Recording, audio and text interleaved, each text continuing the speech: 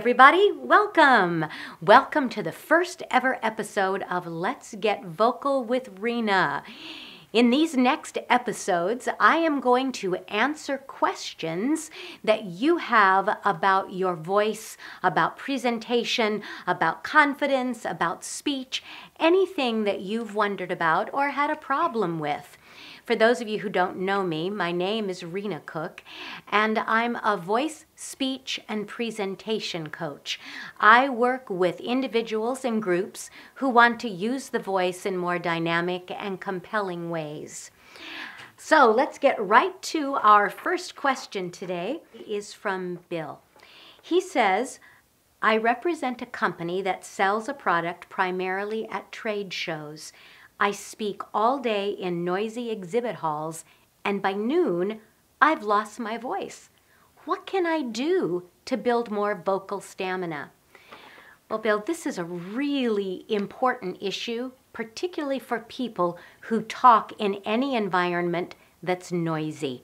I've had some experience with that myself. I used to do some recruiting for the University of Oklahoma when I taught there, and we would be in big exhibit halls with people talking and yelling, um, lots of reverberation, and I would find myself pushing too hard vocally.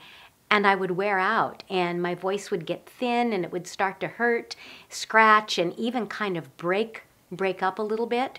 So I did some research as to what that's about. We have a really natural tendency when there's background noise to push too hard from our vocal folds.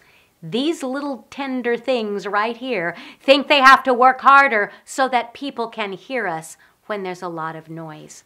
There's a couple of things that we can do to help protect those delicate vocal folds and give them a little bit more space, first of all, we have to think about breathing a little deeper, putting more breath through the vocal folds, and that's just being aware of how we're breathing deeply and centrally. And next, we want to think about this area. I think, first of all, about lengthening the back of my neck so that I go this way, which creates more space in the back of my mouth, in that upper throat area.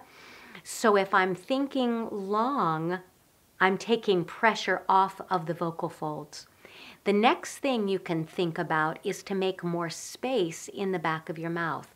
Maybe just by thinking a little bit of a yawn and you don't want people to see that you're yawning. And so your mouth is shut, but there's space emerging back there, kind of. And then I hold that space as I talk. So let me demonstrate. I'm pressing, and then I'll demonstrate how to change what's happening in the mechanics of my body that take pressure off my vocal folds.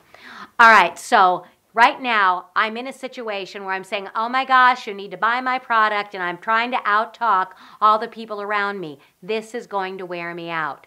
The first thing I do is lengthen the back of my neck.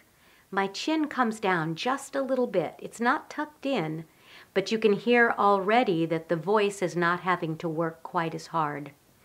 I'm going to make sure that the roof of my mouth, there's a lot of space there, particularly in my soft palate, so that space in the back of my mouth, and I'm going to breathe more deeply. So that I can say, I have this product that you need to learn about, and I can speak clearly and in a focused way that doesn't hurt me here and that can be heard with a lot of noise around it.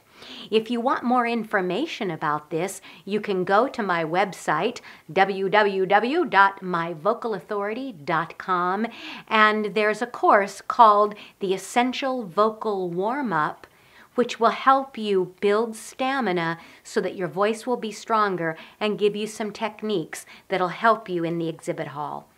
Thank you so much for joining us on our maiden voyage. And remember, breathe deeply and speak your truth boldly, and the world will listen. Bye bye.